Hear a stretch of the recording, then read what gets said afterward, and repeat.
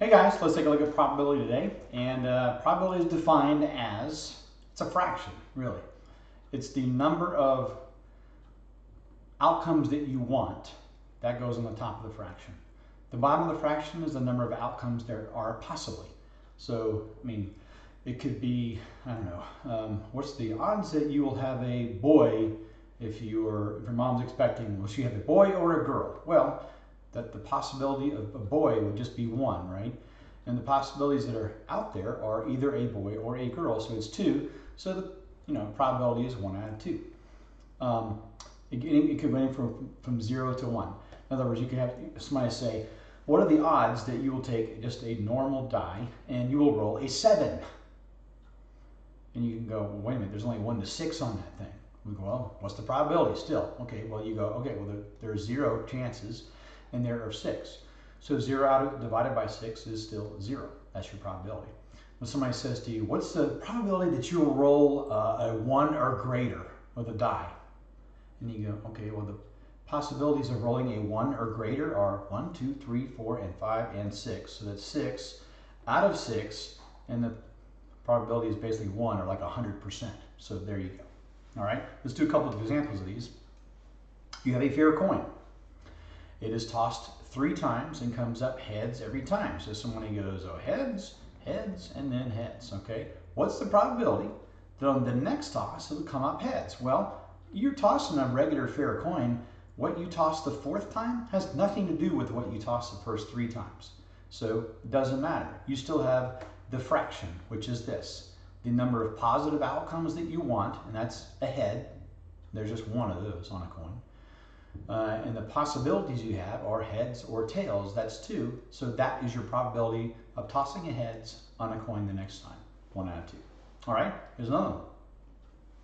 This is marbles are in some urn. Okay, there's eight red, it says. Okay, so I'll just draw red, red, red, red, red, red, red, and red. Six green ones, okay? We'll go down here and do six green ones. So green, green, green, green, green, and green. Okay, one marble is drawn and then is dropped back into the urn. Okay, so you drop, you draw look at it, clunk, back in there. So you're still at the same thing you had before. Then a second marble is drawn and dropped back into the urn. So the same thing happens. You reach in there and drop, look at it, okay, plump, back in there, and you're still back where you started from. All right. Both marbles were red. Okay, fine.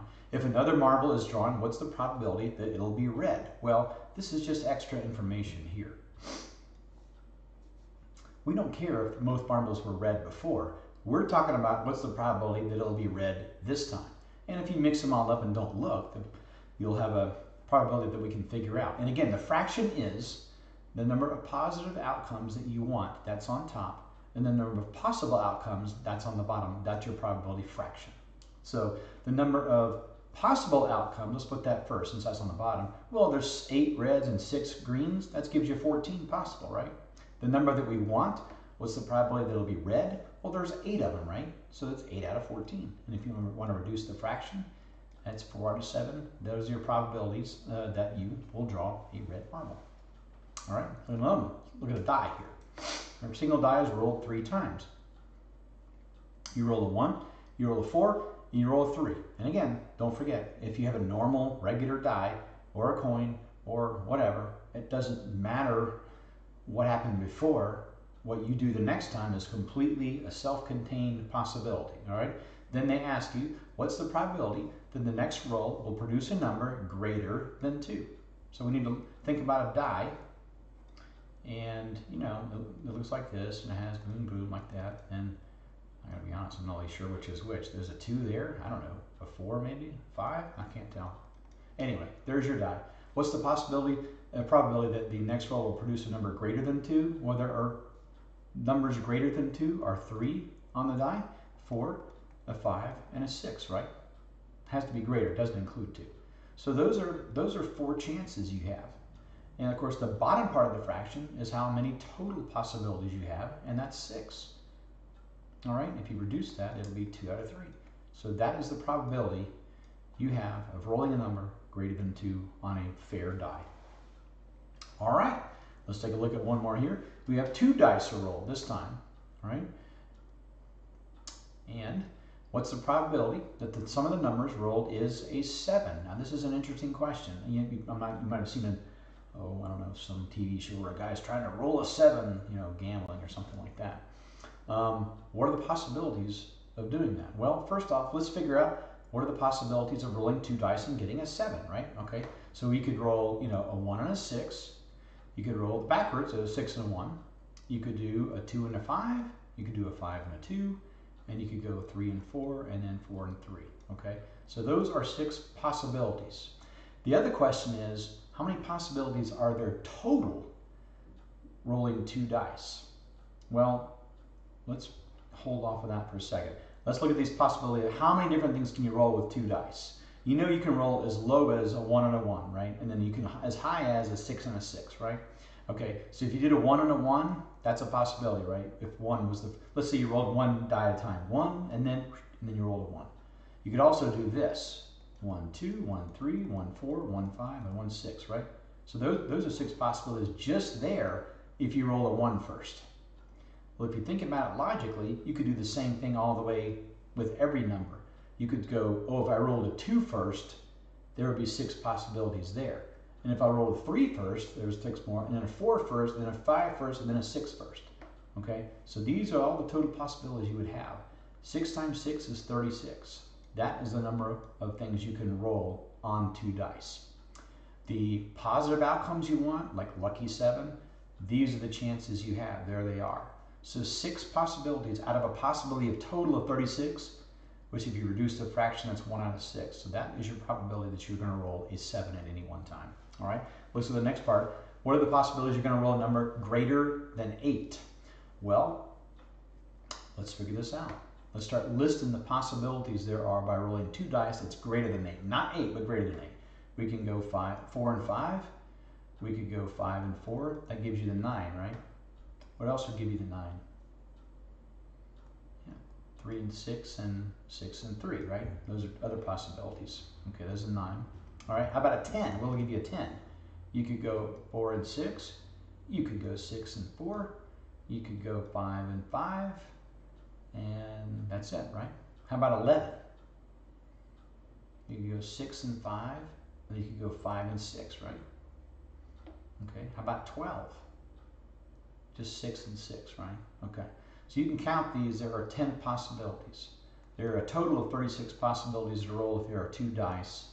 And to reduce that fraction by a factor of 2 gives you 5 out of 18, and that is your probability of rolling a number greater than 8. Okay.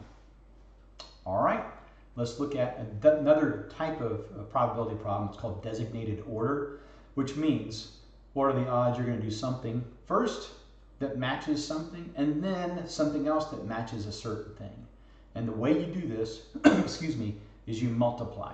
In other words, let's say uh, that somebody says to you, what are the odds of your rolling um, a 2 on a die and then rolling a number that is greater than 5. Let's do that. First you roll a 2, then you roll a number greater than 5. Well, all we need to do is go like this. Well, the odds of rolling a number greater than, or excuse me, you're rolling a 2 are 1 and 6, right? Just a 2. Then, what are your odds of rolling a number greater than 5? Well, obviously there's only one possibility of greater than 5, right? That's just a 6, okay? So one chance out of 6 again. So you actually multiply these together.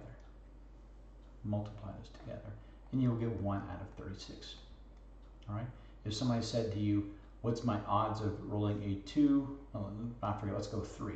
A 3, and then a number, oh, I don't know, how about less than 5? All right? Well, again, on the first one, your odds of rolling a 3 on one roll are 1 out of 6. the odds of your rolling a number less than 5? Well, that's a 1, a 2, a 3, and a 4 out of 6, right? So you're going to multiply by 4 out of 6 chances. So you go across, that's going to be 4. 6 times 6 is 36. if you reduce this, this is 1 out of 9 chances. So that those are your chances of rolling first to 3, then a number less than 5. Okay? That's how you do it. You simply multiply those together. All right. Let's do one. A fair coin is tossed four times. What is the probability that the first two times it comes up heads and the last two times it comes up tails? Well, it looks like this, in other words. It's going to be heads, heads, tails, and tails. And what you're going to do is simply treat each one of these flips as one thing. And just and at the very end, multiply all those probabilities together and you'll get your answer. And it's pretty easy to tell that if you do, you know, heads, what are your odds of rolling it, I mean, uh, flipping a head? That's one out of two. You're going to multiply that by this one. Well, again, that's one out of two, right? And then the third time, a tail, again, one out of two. And then obviously the last time is one out of two again. So the odds of your going, hey, look at this, I'm gonna roll, I'm gonna flip a head, then a head, then a tail, then a tail, in that order. Watch this. It's you have a very small chance of that happening. Multiply the ones all the way across, that's a one. Two times two times two times two is 16. You have about, you have, you do have a one out of 16 chances um, of doing that in that exact order. Okay. All right, let's look at this. You've got a spinner that's spun twice. What's the probability that the spinner stops on four and then on three? Well, again, let's treat each of these as individual probabilities, then we'll multiply them together. Well, first off, you tell me, what are the, what's the probability that you're to spin and it's going to land on a four? One out of four, right? Okay, we got that. Now, what's the probability that's going to land on a three? Again, it's one out of four, right? I mean, the three is taking up exactly one fourth of that spinner. So again, you're talking about a one out of 16 chances. You know, just to prove that this is actually work, working, this actually does work, you tell me the possibilities of spinning this thing twice. What, what numbers could you get? What are all the possibilities? Now, if you think about it, let's say, let's just say you spun it and you got a one. Well, if you you know, if you did it twice in a row, the possibilities if you got a one first were one and would be one and one, one and two, one and three, one and four, right? Well, let's say you spun it, you started all over, you spun it and you got a two first. Well, your possibilities are two and then one, two and then two, two and then three, or two and then four, right? And you can just keep doing the same thing. You could, oh, I got a three first, I got a one. Oh, a three, then a two, three, then a three, and then three, and a four. And you, oh, I got a four, and then a one. Oh, I roll, I spun a four and a two, I spun a four and a three, and I spun a four and a four. Well, you can see that the total possibilities of spinning this thing twice, you have four, you know, 8, 12, 16 possibilities. They're asking, what are the, what are the probabilities that you do a four first, then a three? Well, there it is. There's only one of those that happens out of 16. That's why we're right when we say a one out of 16 chances. Okay. It's just, at some point, somebody figured this out mathematically that, oh, these are all the possibilities. And they went, wait a minute, we can just multiply each one of these together and we got it, which is what we do now. Okay. Try your practice problems and uh, pause it and I'll give you the answer to A. Okay, A is 1 out of 8 times. 1 half times 1 half times 1 half. Pause it and try B. All right, B is 1 out of 2 times. Okay, pause it and try C. All right, C is 5 out of 36. And don't forget, the number of things that can happen if you roll a die twice would be this, 1 out of 6 times 1 out of 6. That's 1 out of 36 The possibilities that match what we want. There are five of them. Okay. All right, pause it and try D. All right, and a deck of cards, there are 13 cards. There are 2 through 10, which means which gives you 9. Then you have a jack, queen, king, and an ace. That's 4 more, so that's 13. Okay. And then the pos positive possibilities you want are when you reduce the fraction 6 out of 13. So, okay. All right, that's it. We will see you next time.